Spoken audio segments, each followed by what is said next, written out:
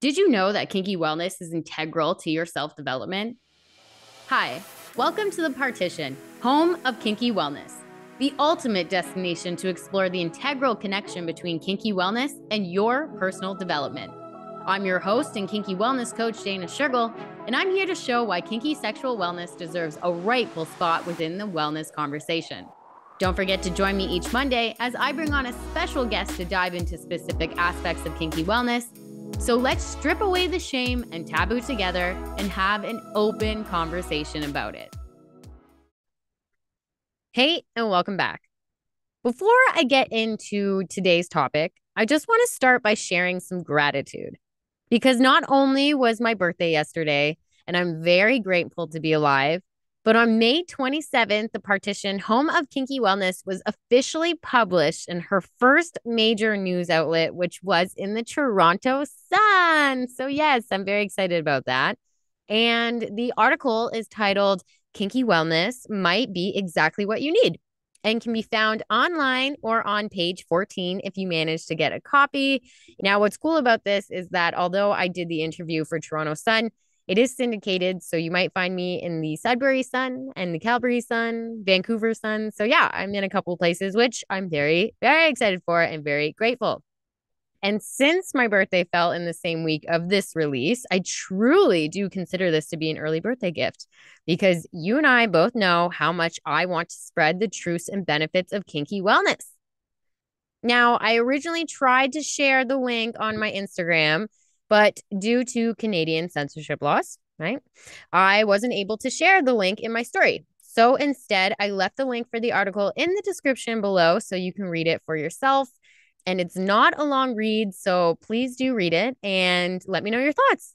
And if you want to go the extra mile and give me an extra, you know, little birthday gift of sorts, please feel free to share the article with your friends and family. But as for today's topic, we're going to be talking a little bit about oral health care and we're going to touch on lubricant toxins in relation to sexual wellness. Because truthfully, after Serena came on the show, I kept thinking about that statement she made, you know, about if women just woke up one day and just loved themselves, that the economy would collapse because people would stop buying useless products that, you know, only benefit the people selling them. And it made me think about the products that we have within the sexual wellness space that may be doing this too. And as I was thinking about it, I kept coming back to that narrative around spit versus lube and whether or not people should or should not use their saliva as a lubricant. Now, I don't know about you, but for me, growing up, I do remember seeing articles in sexual wellness magazines that said things like, don't use your spit as a lubricant because it could be dirty. It could have bacteria in it. It could be this, it could be that. And although this statement is certainly true in some cases, because you and I both know that there are definitely people out there who do use their spit without having a proper oral health care routine. But you also need to understand that yes, STIs can still be transmitted through saliva. So this includes things like chlamydia, gonorrhea, HPV, syphilis, and herpes. Just because you use spit doesn't mean that you're protecting yourself more or less than if you use lube. But I also feel that statements that say don't use bit because of XYZ, you know, I feel like these statements do have an element of fear mongering to them. Because when you think about it, hasn't spit been the OG lube for years and years and years and years and years, all the way up until someone figured out that you can use more natural lubricants like coconut oil? And then, somewhere along the way from that, capitalism created a market for sexual lubricants of all kinds. Now, before you get your knickers in a knot, I'm not saying that lube isn't good for you. Lube is great. Lube is our friend. Lube is positive. And it's clear that saliva doesn't always have that slippery quality that lubricants have, and it doesn't last as long, right? But does that mean that lube is better? Because let's remember, not all lubes are created equal, and some products are better than others. And what I find ironic is that many lubricants on the market have chemicals in them that are just plain toxic and far worse than just dirty saliva. For instance, flavored lubes called something called glucose, which is a sugar, right? But glucose can cause some serious yeast infections. And another chemical found in many lubes, such as KY jelly, is propylene glycol, which is a chemical that comes from petroleum. And not only can you find this in certain lubes, you can also find this chemical in antifreeze and in liquids like coffee based drinks and pops, which we touched a little bit on in our banned food episode. But in the lube form, propylene glycol has been associated with skin irritations, contact dermatitis, and hives. Also, are we at a point? Do I have to say this over again, guys? Like, isn't anything to do with gas, petroleum? That just doesn't sound right. Right? Like, that's just, that can't be me. We have to just agree or agree to disagree that gas and humans just don't mix. But, anyways, Another big no no when it comes to chemicals found in lubes is parabens. Now, I do think that we touch base on this again in the banned foods one, but I just want you to take notice that although our FDA system considers it safe, it has been banned in the EU since 2015. Now, parabens are used as a preservatives, but again, regardless if it's in food form or lube, parabens have been linked to breast cancer and fetal development issues, among a ton of other health issues. Now, another paraben that's really, really bad is methylparaben, which is a specific paraben which is used in many personal care products to increase the shelf life because of its antifungal and antibacterial properties. But again, this has been linked to be an endocrine disruptor and even make cancer cells grow faster. Parabens are also something that can give people allergic reactions to.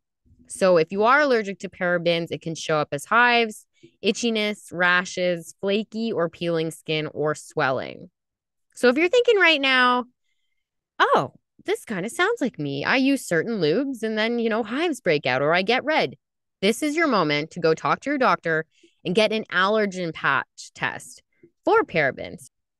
Other potentially toxic ingredients in lubes are things like glycerin, which can contribute to yeast infections, chlorhexidine gluconate, which, although it is an antibacterial, this chemical can also kill healthy vaginal bacteria, which then makes women more susceptible to yeast infections and other bacteria issues. Then we have our debate over silicone products. Some people love them, some people hate them. But regardless of where you sit on that scale, at the end of the day, silicone products are full of microplastics. Now, a couple of the microplastics here, I, I might butcher this, but it's cytyl and dimethyrocorn. And as we know, microplastics are not just bad for us, but they're also bad for our planet, our water, everything. And if you didn't know, more and more babies, unfortunately, are currently being born with more and more microplastics in them. But also, silicone products can release something called siloax, which also have been linked to endocrine disruptors and cancer. So, again, what's worse? A person who may or may not have brushed their teeth or these listed chemicals? Because, as far as I'm concerned, I will definitely argue that these chemicals are far worse than spit. And I say that because, quite frankly, I live in Canada. And as far as I know, most, maybe not all, but most Canadians do try to take good care of their oral health. It's something that we were raised with, it's something that we see on TV all the time. So it is something that we do take care of.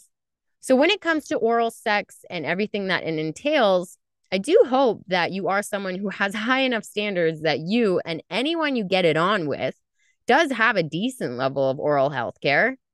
And if you are someone who's getting it on with someone who has terrible oral health, then that's on you. That's your risk. And that's really not something you can complain about later. But I get it. Oral health care, we've been taught, is just brushing and flossing, but it is more than that. So I do want to take a moment here to share some additional oral health care that does go beyond brushing and flossing. Because to keep it simple, I'm just going to assume that everyone listening here has at least heard about the importance of brushing and flossing their teeth. But let me ask you have you heard of oil pulling and tongue scraping? If not, that's totally okay because I'm going to talk about it now.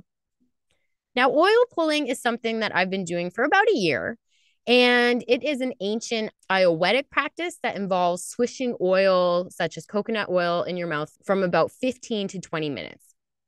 Now, online, it does say that you can use other types of oil like sesame, but I don't know anything on sesame oil. So I always stick to coconut oil, and everyone else that I know who does oil pulling also uses coconut oil. So to keep it simple, I would just suggest using coconut oil. But basically, what you do is you take whatever amount you want and you put it in your mouth. Some people do a teaspoon, some people do a tablespoon, some people put a whole bunch in their mouth. It's really up to you. But the benefits of oil pulling is that it can help with your gum health because it helps reduce inflammation. It can help reduce harmful bacteria in your mouth, which will help you decrease the risks of bad breath, oral infection, cavities, and gum disease. Oil pulling also helps remove surface stains from your teeth, which will help you to have a brighter smile. And by removing surface stains, it can also help reduce that plaque buildup. And when you reduce plaque buildup, that's going to help your tooth from decaying. And beyond helping your teeth, oil pulling is believed to help remove toxins from your body, improve sinus health, boost immune health, and give clearer skin. Because again, you are removing and decreasing bad bacteria in your body. Then we have something called tongue scraping which is pretty self explanatory, right? But it's the practice of using a tool to clean the surface of your tongue. Now, tools for this can come in different shapes, different sizes, different material. But mine is a metal one that's shaped like a half moon, but you can choose whatever one you want. Just Google it. But when it comes to teeth scraping, I would suggest doing it twice a day. And basically, what you do is you stick out your tongue and you place the scraper as far back as it can go. Then you gently pull the scraper forward, which is scraping all that stuff off your tongue. Then you rinse it off and repeat until you've cleaned the entire surface of your tongue. But something to keep in mind is that you don't need a lot of pressure for this, so be gentle to avoid irritating your tongue. Also, if you are someone with a really bad gag reflex, you again, you don't need to go back all the way. You can just go where you are comfortable, so that can be at the front or the middle. It just goes up to you. But the benefits of tongue cleaning or tongue scraping is that it helps remove bad breath bacteria. It can also help your taste, which is cool, right? Because it's getting all that stuff down. So give it a try. Because by adding oil pulling and tongue scraping to your daily oral health routine, you're only going to give yourself a more thorough cleaning that's not only going to help you, but the person you want to put your mouth on. But what do you think about spit versus lube? Do you think our sexual wellness market has overblown how dangerous spit can be? Do you think it's just people capitalizing on an opportunity? Or is there more to spit that I don't know? And if there is, or if you or someone you know that has more information on spit in general, you know, I would certainly love to talk to you or them. So don't be afraid to reach out by email or contact me through Instagram. But yeah, let me know your thoughts on the spit versus lube debate because personally, I do think that chemicals are worse than spit. But that's all I have for today and my thoughts on spit and oral health in general. I hope you learned some oral health tips if you didn't know what tongue scraping or oil pulling was. But as for next week, the partition is taking a week off and we'll be back on the week of June 10th. So, in the meantime, take this as an opportunity to catch up with the episodes you haven't heard before and get that kinky wellness discussion going with your friends and family. And if you have any questions or any topics that you'd like to learn next, please let me know on Instagram or leave a comment below.